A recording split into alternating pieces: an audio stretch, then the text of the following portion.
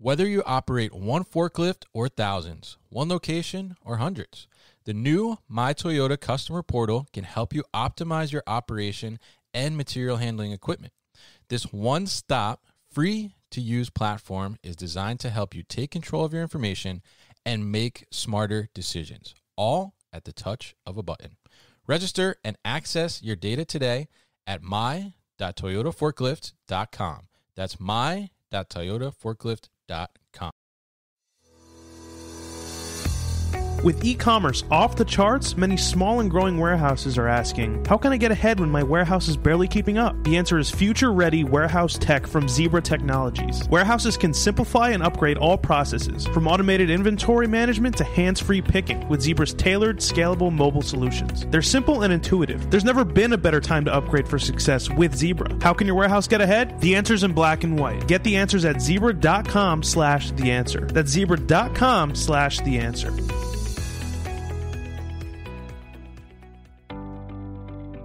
Fulfillment demand continues to skyrocket and outpace available labor. To keep up, warehouse operators are turning to flexible fulfillment solutions like Six River Systems. Utilizing Six River Systems' award winning combination of collaborative robots, artificial intelligence, and operational expertise will make your associates and wall to wall fulfillment workflow more efficient. No new infrastructure, no change to warehouse layout, easy to deploy and scale, easy to train and retain associates, all at half the cost of traditional automation. Want to take your fulfillment operation to the next level? Go to www.sixriver.com to learn more. That's www.sixriver.com to learn more. How do you create warehouse superheroes? The answer is simple. With visual voice scan solutions from ProCensus. With record demand and labor shortages, warehouses need more effective workers and lightning fast onboarding. Visual voice scan solutions from ProCensus enable warehouse workers to achieve superhero performance with up to 20% improved productivity and up to 99% accuracy. Hands free barcode scanners from ProGlove paired with wearable mobile computers is just the beginning. Improved mobile interfaces with reduced keystrokes, easy to read screens, custom keyboards, voice enabled interface, and more can be realized with ease on the leading WMS platforms. Sound too good to be true? Let us show you with our one of a kind virtual demo. Visit procensus.com to get started today. Again, that's procensus.com to get started.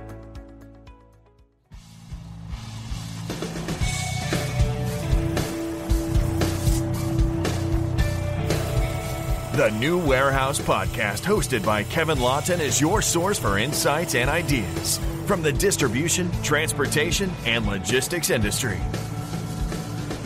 A new episode every Monday morning brings you the latest from industry experts and thought leaders.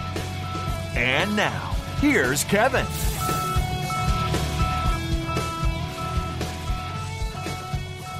Hello, and welcome to our panel today on building a sustainable supply chain. My name is Kevin Lawton. I am the host and founder of the New Warehouse podcast, which focuses on logistics, distribution, transportation topics within that setting. And we have a podcast twice a week that covers those topics. Today, we're going to focus on the sustainable side of supply chain, and we're going to have three guests on the panel. Our first guest is Nate Faust, who has spent the past decade leading teams that have built next generation e commerce experiences.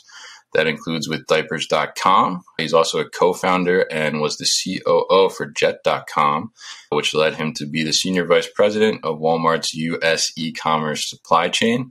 And he is now on a mission to reduce packaging waste in the shipping and returns process as the CEO and founder of Olive.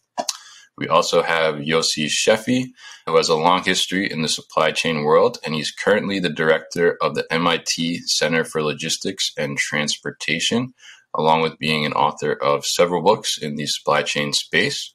And our last panelist is Hanko Kiessner. He is the executive chairman and founder of Packsize, which brings automated and intelligent solutions to packaging for the supply chain world. He has a passion for making the supply chain smarter when it comes to packaging in a sustainable way. So I want to welcome our panelists to the virtual stage here. Welcome, guys. Uh, so we're going to talk about sustainability, and there's a lot of things to talk about in regards to that. And we all have our own ideas about sustainability and how we may define it. But one of the large things is the challenge of actually pursuing sustainability.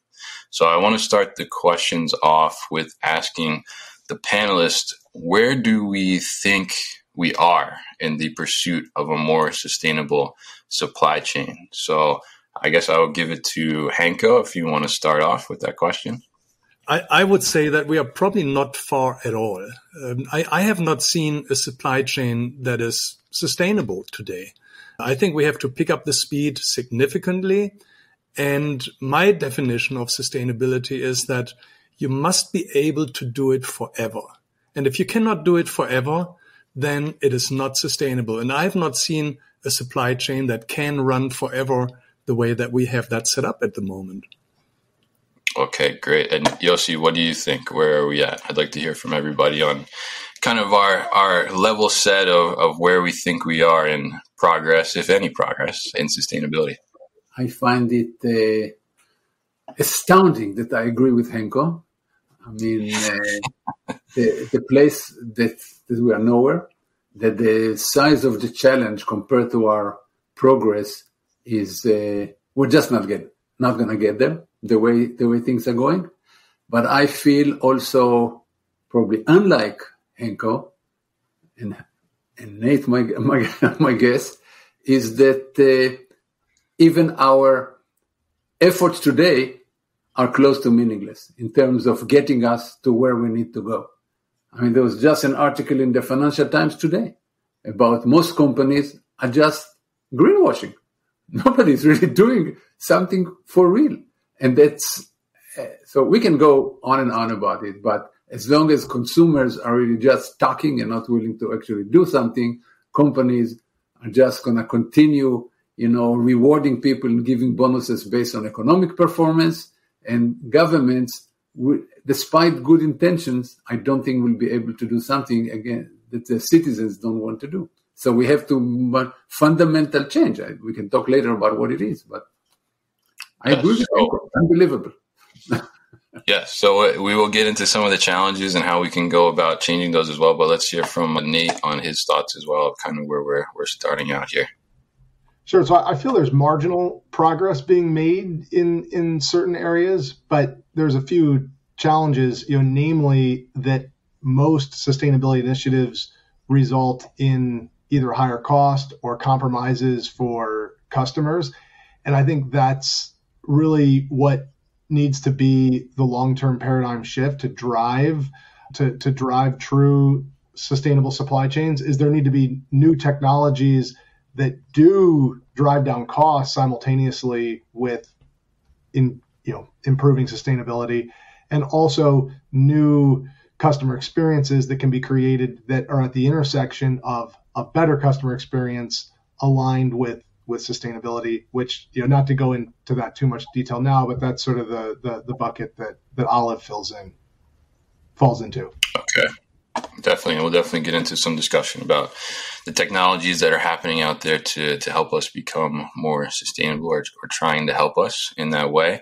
But I think, you know, it seems like we can all agree that there's certainly some challenges here but going about them and how do we tackle these challenges, I think there may be some differing opinions where we can have some interesting discussion. So, so there's many ways, you know, that we've gotten to this point overall, which we could spend tons of time talking and reflecting on the past and what's been happening. But I think with sustainability, we need to focus on moving forward and how do we do things to become to that point and, and move forward with sustainability as a whole.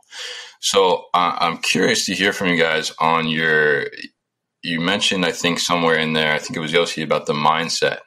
Uh, and I'm curious to hear from you about how do we start to shift that mindset? And I think let's start, you know, first talking about the mindset of actually doing the environmental savings. And I think Yossi, you, you threw in there the word uh, greenwash as well, right? So how do we do the mindset of maybe the marketing side and the branding of going green or becoming sustainable versus actually making that a practice that is not only sustainable environmental wise, but sustainable as a business model too. I'll open that up to whoever wants to take it. I'll, I'll take it first, just to make it interesting, as I always try to do. Okay, the question is not the, the right question because you assume it can be done. Even Nate assumes it cannot be done. He doesn't say it, but he wants. If you ask him, you want A and B, Nate say, I want A and B. So yeah, okay, maybe he wants both something that's economically viable and sustainable. That sounds like a panacea. Maybe that's zero zero point something, you know, likelihood that, that we'll get there in any time frame that makes sense. I mean, sure, 200 years, 200 years, we can get there, but any time frame that that uh, that will help the problem.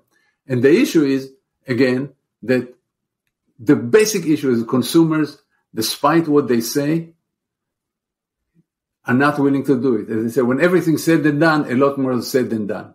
So that's true about consumers. That's true about the companies. It's even true about most governments. But, but, so the question is, what do you do about it? And, and, and by the way, the proof is in the pudding is the, is the pandemic. We had, we had at, at least the US, more than a third of people are not willing to take vaccines, wear masks, uh, social distance. This is thing that can save their life, can save the life of the children, and they are, they are not willing to do it because they don't perceive it as a risk. Now you're going to take these people and convince them that something that will happen decades from now is a real risk. Where is the evidence that this even should be attempted? I mean, anyway, so my my solution, we can talk about it later, is fundamental, and by the way, also motivated by, by the pandemic, is fundamental investment in technology. And investing these hundreds of billions of dollars and trillions of dollars in technology that can take uh, GHG out of the air. Because also, just one more point, we also have the whole developing world that wants to get developed. They want air conditioning cars and, and eat meat and, and, and, you know, concrete houses. So we are doomed unless we have some technology, because we cannot tell them don't. We, we have it, but you guys are not allowed to have air conditioning. So we must have must change the paradigm. We should we should not ask how do we convince them because this is a fool's errand. I think I said they're not willing to do it. My God, they're they're morons. But it is it is what it is. Uh, that, by the way, I use a technical term from MIT. It's not you should not use it. So that's a technical term.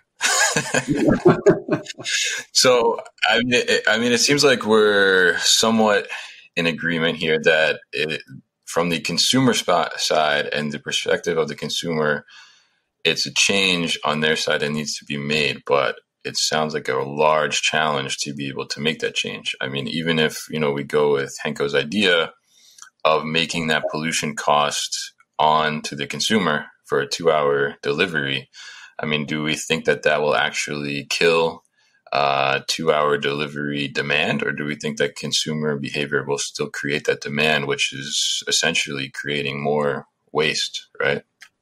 Yeah, it might actually kill the demand for that specific service, but then at least you have fair competition between the different supply chain modes.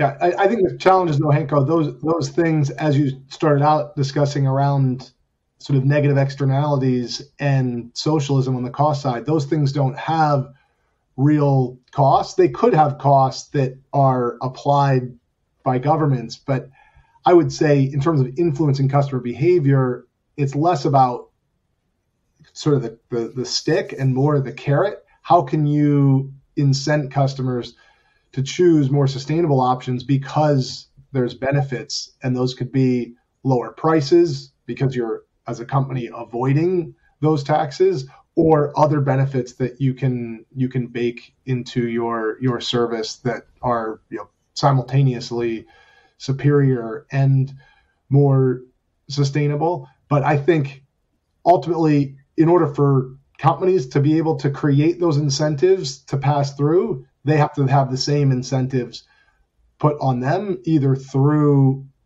the just the market or in this case, since those aren't marketable prices around greenhouse gas emissions, prices that are effectively put upon them by you know through through regulation. We'll be back after a quick break. You hear a lot about supply chains these days because if the past couple years have taught us anything, it's that an efficient, well managed supply chain is absolutely critical to keeping businesses successful and consumers happy. I'm Will Haywood and I host a podcast called All Business, No Boundaries, where we talk about supply chains, how they work, what happens when they don't, and the innovations that are redefining what's possible in the world of logistics. Join me for insightful interviews with thought leaders and industry experts. We discuss how optimizing supply chains can break down the barriers that are holding businesses back. That's All Business, No Boundaries by DHL Supply Chain. Listen and subscribe wherever you get your podcasts.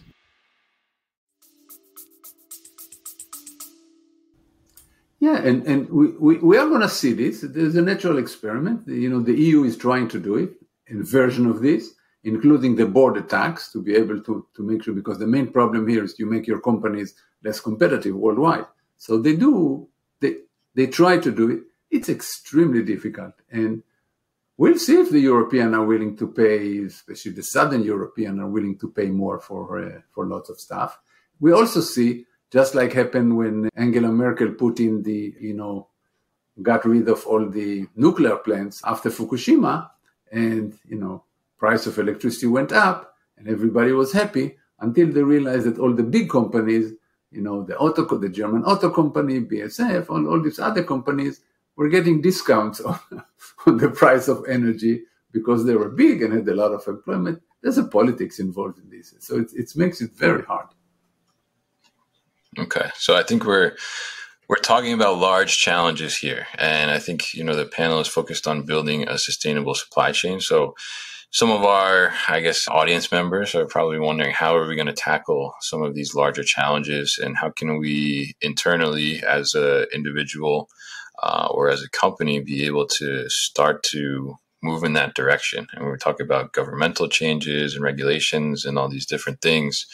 That's not something that necessarily one company or one person can can begin to change. So how do you think that companies can start to internalize small incremental changes that will lead to overall a culture of sustainability within the, that individual company, at least, and start to move the ball forward, however slowly it may be, but in a positive direction? How do you think that they can begin those types of things? Well, maybe I maybe I take that one. Uh, Sure. For for Packsize, this is actually not that hard because being sustainable or aspiring to be as as sustainable as possible, that was one of the founding principles when I moved from Germany here to the United States and started the company. So so that train of thought made it into the culture of the company on day one. And we have ever lived uh, the principle of whatever the most sustainable way is, that is what we will do, even if it may cost a little bit more on the surface.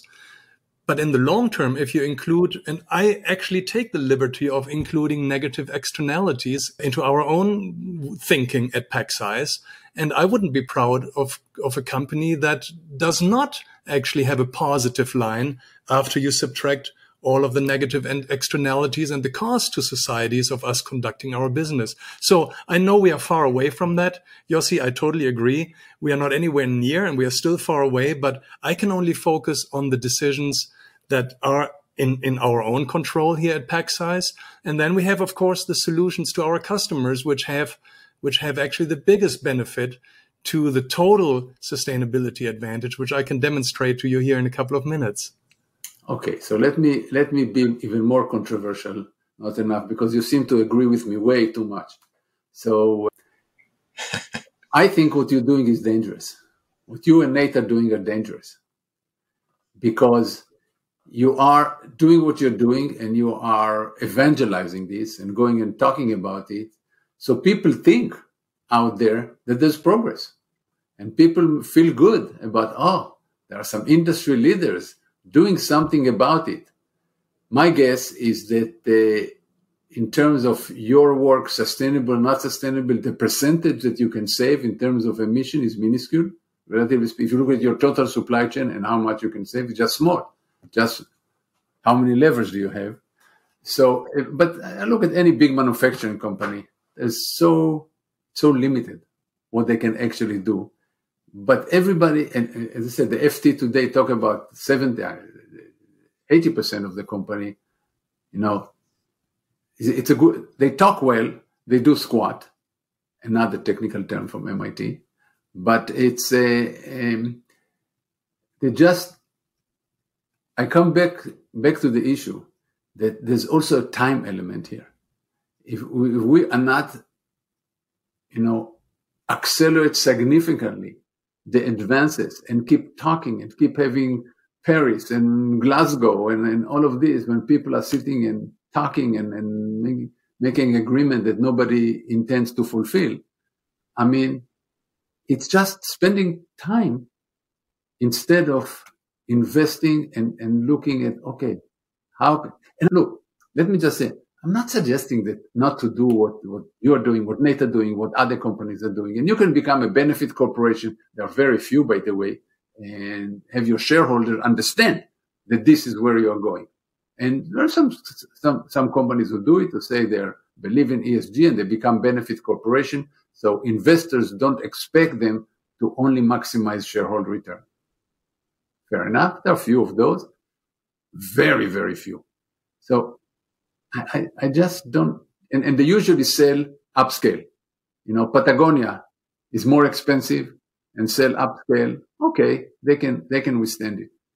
Walmart cannot become a benefit corporation, despite Nate's effort. I mean, it's just not in its DNA. Can do it.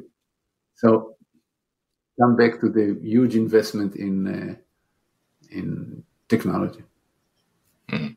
So, so Nate, what do you what do you think about that? Coming from a, a company that's, that's, trying to. Uh, so, so Yossi, we, we've we've we've chatted enough that I I don't take offense to your your your comments. I know you you. Oh, you, you know, put them out you, to know that I'm doing it. Took the conversation, but you know, I think I think we'd be in a worse world if we didn't have people who were truly out there trying to put forth simultaneous, economically viable and more sustainable business offerings because I do think it is the private sector that solves most problems and those problems are solved through market based solutions.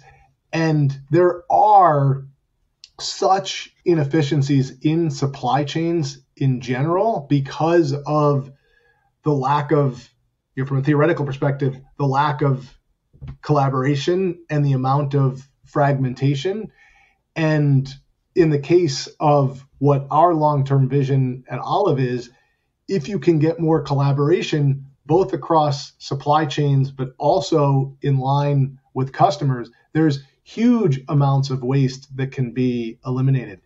And you know, to your comment before about yeah, there's there's huge companies out there that can you know deliver things together across multiple retailers.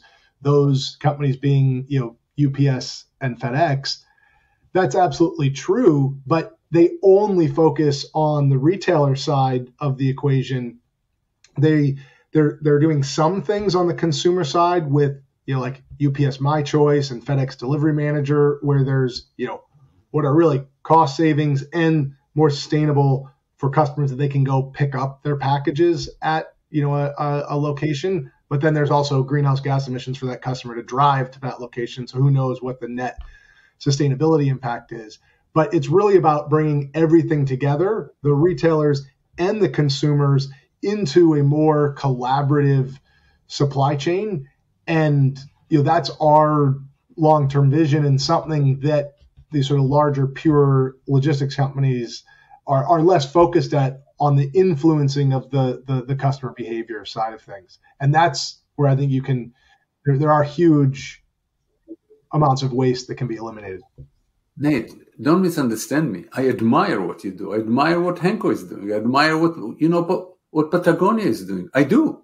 I, look, I'm trying in my own life to uh, to sustainability. I just know that my action and watching Netflix have the same effect on, on, on sustainability in the world. So I'm not I'm not living in an illusion that I make a difference. I no, mean, I know, but but but but Yossi, I would I would put that in the world of the sort of like people who say what one vote doesn't make a difference, so they don't vote. And if everybody did that, then you wouldn't have sort of fair democratic outcomes to elections. And I'll be honest, you know, just like today. What's that? yeah. Well, let's let's not let's like not get into that. Not that's a whole different topic. But the point is, every vote does count, and okay. every little even though it's little things, it's a lot of little things that will add up to progress. But you're right; they're not adding up fast enough, and incentives from governments and others that could enable greater progress faster, so that all those little things can can add up I think is the the, the only way that's that that's ultimately but, but but you see the biggest technology that's already operating is renewables. Renewables are now getting to the point that at some places they are competitive with the price of carbon. So you see the technology can have an effect and can have a significant effect right? Building a tesla is a technological marvel. So there, there are things that technology can can do. The question is where do we, where is the next wave of technology that will actually change or, or get us a, accelerate the progress towards sustainable future. Because the problem is it's going eh, when you say it's going slow people think it's going at half speed. No it's going at 1% of the required speed. That's my problem. Not that it's you know too slow like 50 miles per hour instead of 70 miles per hour. No it's standing it's almost standing in place versus 70 miles an hour maybe one mile per hour um, Yossi, I totally agree with that, and I probably shouldn't be saying this, but I disagree with you on other topics. But uh, Nate, how about? but Nate, how about if we demonstrate to the audience uh, multiple examples uh, from from Olive, but also from Packsize, uh, some examples of sustainability? And I would like to start with with how how packaging is normally shipped. And you know how this works. You order something and then it is like a huge box. And then I ordered like some trees, here some, some seeds of trees, a t-shirt, and then also some pins. And if this was all packaged, what I would call more sustainable, of course, not uh, probably the, then it would have been packaged like this, right? I mean, this is, this is sort of pretty cool. And then we can put also like a nice little sleeve around it here. Like we have some on-demand printing. Like Nate, how do you like that? That looks great, Hank. So then, then we can put a sleeve around it. And uh, before I hand this over to Nate, so so we are Yossi, we are going to demonstrate a new virtual supply chain here. But uh, before I do this, when you have right-sized packaging, you're using 40% less shipping volume on the average. You're reducing the corrugated consumption by 28%. You're using, if you now do this extrapolated for all of the United States, 5.8 million tons of paper are used too much. And guess how many trees we need to make 5.8 uh, tons of paper? We need 98 million trees every single year. But now you have to imagine that these trucks are now also full by volume and not full by weight, which means that we have actually 24.3 million truckloads that are cruising around the United States completely unnecessary only because packaging is too large. And that burns 1.74 billion gallons of diesel. And that leaves 17.4 billion kilograms of CO2 in the, in the atmosphere. And yeah, this is just too slow. I I I actually agree with you, Yossi. so, so I'm going to agree. But but Nate, here I'm going to send this through this uh, uh, transport. I'm going to send this over now over to the eastern United States from Salt Lake City. There you go. There you go. Thank you, Hank. I'm not sure I feel about the olive logo being on cardboard, but this is definitely a you know a, a very nice right-sized box. You know, having having spent you know sort of a decade managing various e-commerce supply chains, I know full well the the sheer amount of corrugate waste with you know average space utilization in a box around 60% and the costs of that you know making up 5 to 10% of supply chain costs spent just on on packaging in e-commerce. And you know that's why we feel you know, in the long term, the real solution is the, the, the complete elimination of disposable packaging, where you can create a more circular network of of reusable packaging, hopefully with you know similar functionality of right sizing, probably not down to the same right sizing as yours, but with you know different different mechanisms to allow you know reduce space and complete complete reuse. And you know, that's really the the, the long term vision of Olive is to work with the same retailers that are you know spending hundreds of millions on packaging today and reduce that dramatically while providing something that is is simultaneously a superior superior customer experience where they don't have to deal with the waste either.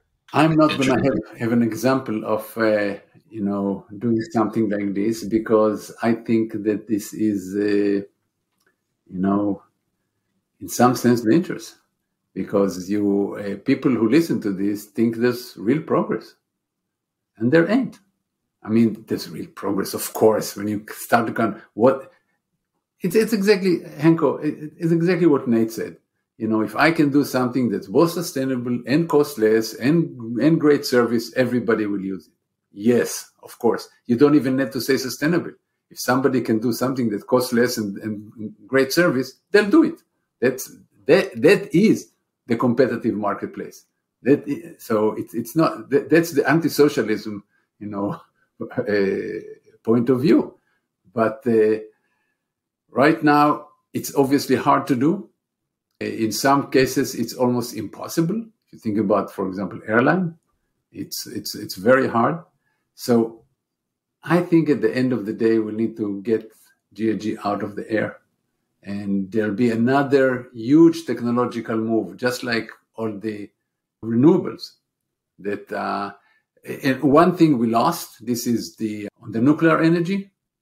I mean, it's absolutely that's what gets me very very pessimistic because it's the same people, the same Greens who did not want to use nuclear energy, using the argument that you know the stuff is getting still active 10,000, 20,000 years from now, what? The world is going to come to an end 20, 30, 40, 50 years from now. You're worried about 10,000 years?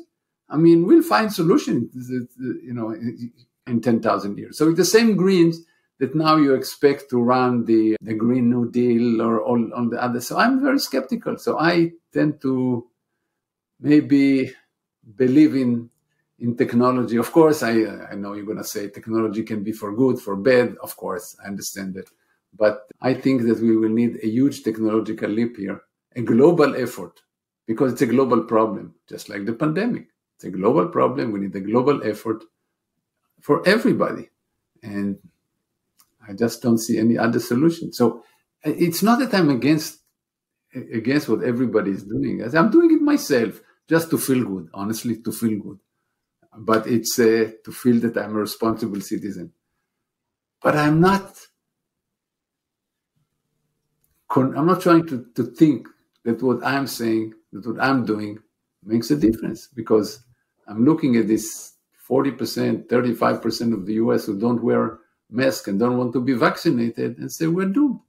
So it, it's we need we, we need to do it despite of all these people, all these people.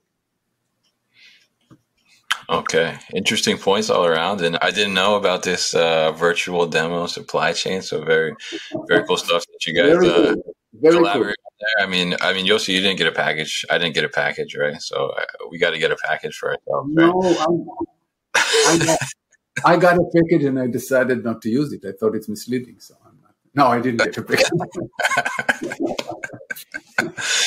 so I mean, uh, certainly, obviously, we're establishing that is is a huge challenge, right, to be taken on. And I think we have different sides of the spectrum here that, you know, we can make incremental challenges as solution providers, which Hanko and Nate are doing, or we can make consumer behavioral changes, which we have to count on the consumer to do, which I think we all agree that is incredibly difficult to make that happen and make people still have the same level of service that they expect with also doing good things for for the environment and the world but i think you know closing out here and really kind of as a, a takeaway for everybody you know if we look at the next three to five years, five to 10 years to get any kind of progress whatsoever. And I think, you know, we agree that progress is slow. Yossi would say extremely slow at the 1%, right? So, you know, what do we need to do as stakeholders in this environment and this globe? What do we absolutely need to do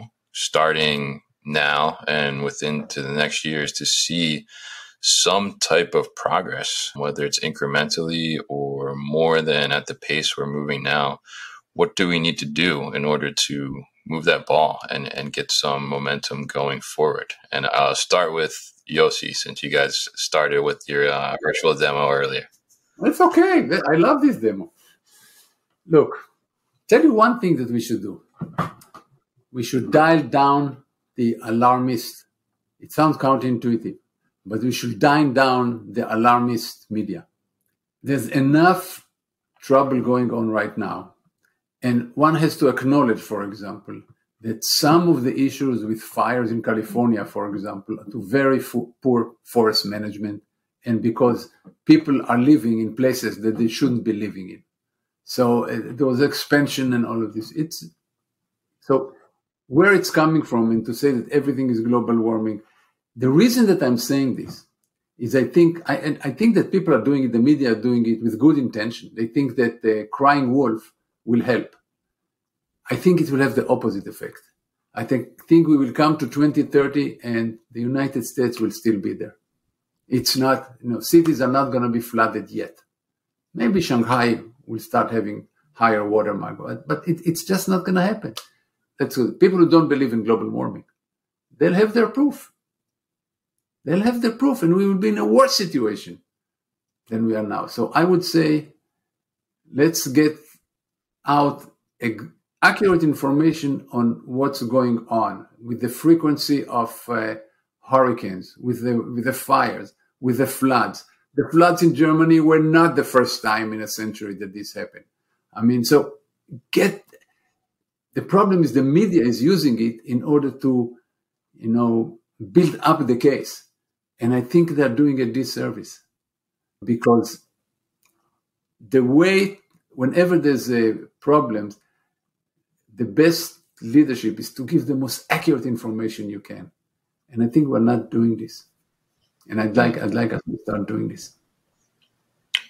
So do you think in a sense the media coverage that you're speaking of is is somewhat numbing the consumers to the reality of what's actually going no, on? No, it, it is numbing and it is setting it up, setting us up for failure. That's my mm-hmm. problem that I can just imagine on Fox News 2030, they'll have all the the congressman from the, the senator from Massachusetts and, and from Oregon and from all the you know the uh, the progressive state talking about the fact on the previous IPCC report they read it wrong by the way just just they took the absolutely extreme case which had huge confidence in uh, you know uh, interval around it and they, they took the, the top of the confidence interval said 2030 is the year. Well, I can just see on Fox News all these talking heads talking about 2030 being the end of the world and then showing pristine pictures of around the United States and saying, this is the end of the world, I want to be there. That's what I mean by people who are exaggerating and not giving straight information, you know, anyway, you, you ask about one thing. You can do a lot of things, but this is one thing that I say I think we're doing wrong. Okay.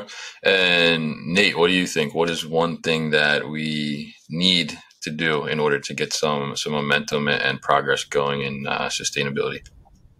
Well, I think that one thing is is different for everyone, and I do think that companies truly do have the best intentions with making their products and services more sustainable because I think customers do want them and the majority of people do understand that this is not you know putting us on a path for a planet that will be inhabited inhabitable by future generations. And for each company whatever that one thing is or each person whatever that one thing is may be different. But would encourage people to seek out opportunities where you can improve your product and services while making them simultaneously more sustainable. And if one of those things happens to be making a, a superior delivery experience for your e-commerce customers, we'd love to we'd love to chat with you. Okay. And, and Hanko, what do you think? What's one thing we need to do? I, I would bring it down to this. Mm-hmm. I think we have to relearn how to assess truth.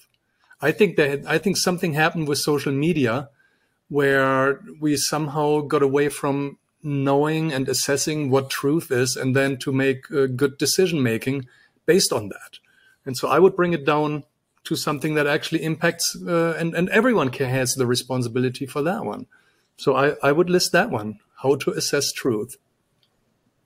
Okay, very interesting and interesting perspectives and, and points from all three of you. And uh, I really appreciate you being a part of the panel today and, and discussing the sustainability and supply chain. Obviously, it's a huge issue that we're trying to tackle, and I think we all agree that it is a huge challenge. It's just in what direction do we go to do that? And I think, you know, there's various stakeholders and we're all individual stakeholders as well. And we can do what we can do, but there needs to be some, some overall momentum and, and movement towards sustainability and, and building that supply chain in a more sustainable way. So thank you guys very much for joining me and really, really enjoyed the discussion and debate as well. You've been listening to the New Warehouse Podcast with Kevin Lawton. Subscribe and check us out online at thenewwarehouse.com.